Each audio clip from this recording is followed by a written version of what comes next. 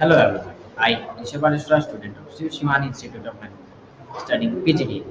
PGDM stands for Postgraduate Diploma in Management. It is of two years.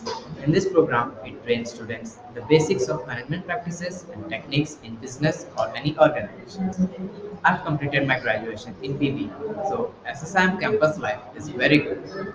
Activities are organized by cultural community regularly professors, staffs, our seniors, and even our batchmates are very supportive and friendly. I am in the first year and learning new things, grabbing opportunities, being open to experiences. I got an exposure in terms of personal and pre-professional learning. The college management is student friendly, the curriculums updated frequently and includes all the recent developments in the field. They organize frequent seminars and webinars for the students for their welfare. Educational environment is very good.